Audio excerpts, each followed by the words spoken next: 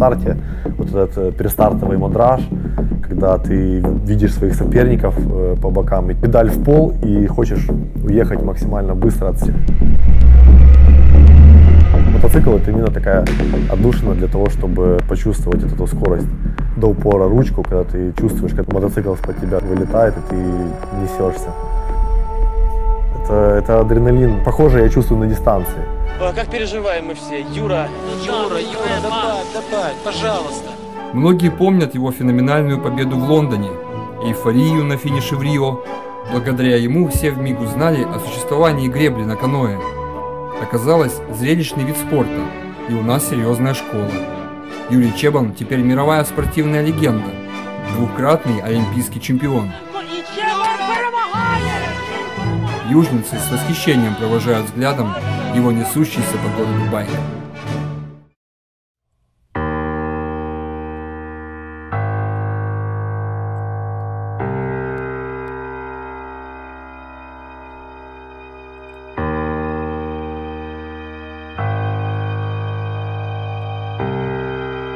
Кайфуша, это, это прикольно. Лодочка по воде идет по поверхности воды, по, по верхней глади, ветерочек обдувает тебя, особенно летом. Ты в маечке, в, в таких э, трико едешь себе по природе, смотришь на, скажем так, на сиротские дома, которые пару гектар занимают земли.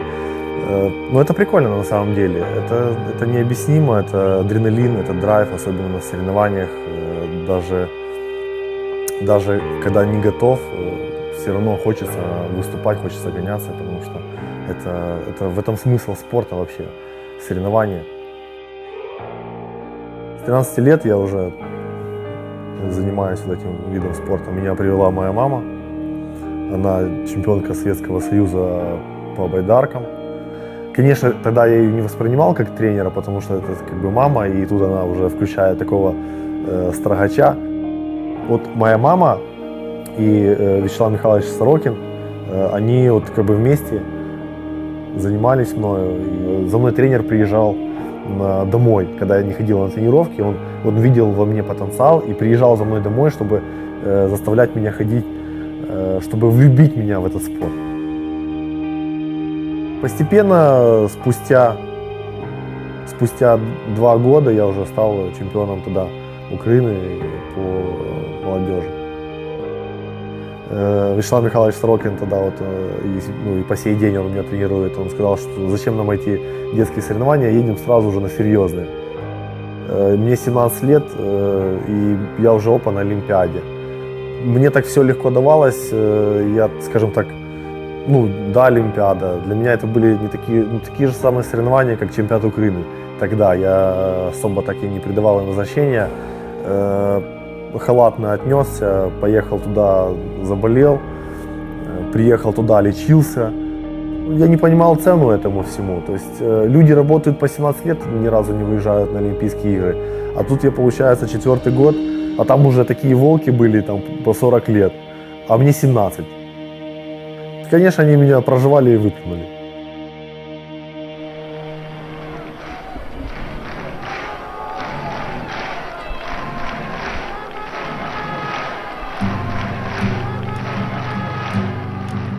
Вот в 2008 у меня первая олимпийская медаль была. То есть это 8 лет ушло на то, чтобы э, попасть на Олимпийские игры уже второй раз и завоевать медаль. 12 лет ушло, чтобы вот э, уже стать олимпийским чемпионом. Это такая, ну, это вспышка, такая просто эмоций. Это пик, это фаталити. Я не поверил, когда вот впервые выиграл Олимпийские игры в 2012 году, я не поверил, потому что мне казалось, сейчас вернут заезд, сейчас будет перезаезд. Только уже когда на пьедестал вышел, конечно, уже успокоился, когда уже на мне э, была медаль, я уже испытывал большое чувство гордости за свою страну и за своего тренера, и бесконечное чувство э, счастья и того, что ты делал все правильно, работа была сделана правильно. И когда я уже попробовал вкус олимпийские медали, я уже там особо не заморачивался там, на, на Европы, на, на Кубки, там, на чемпионаты мира. Это совсем другой вид гонки, совсем другое качество металла, совсем другое качество э, самого мероприятия. оно совсем по-другому все идет. Э, люди по-другому переживают эти моменты.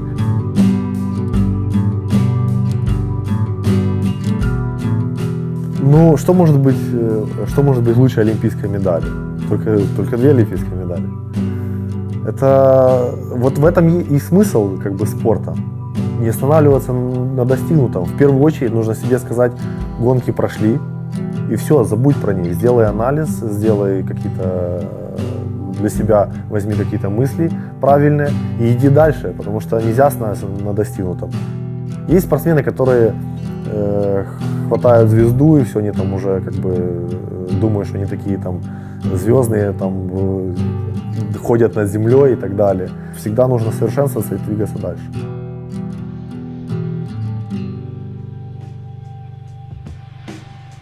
Первоначально это должно быть вот, э, характер, здоровье, э, трудолюбивость, задатки э, таланта, это обязательно.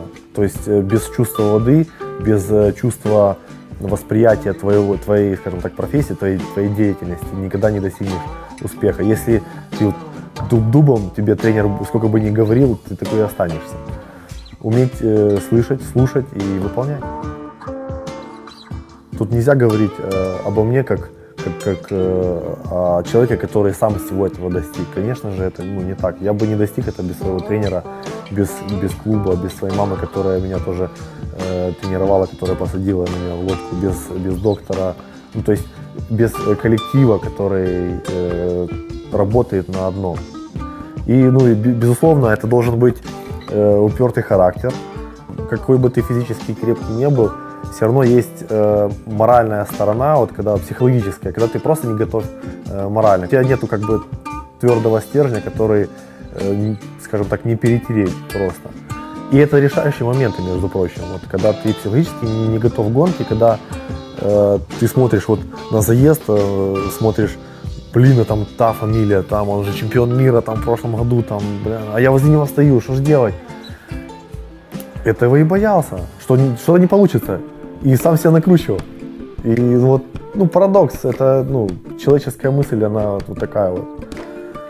И пока я до этого дошел, прош, ну, конечно, прошел не один год. И ну, вот, к примеру, сейчас на этой Олимпийских играх э, в Бразилии э, соперники были сильнее меня. Это факт.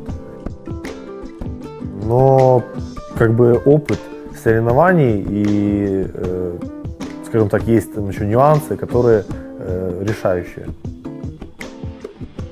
Мой допинг это сало и чеснок, если, если вы про это.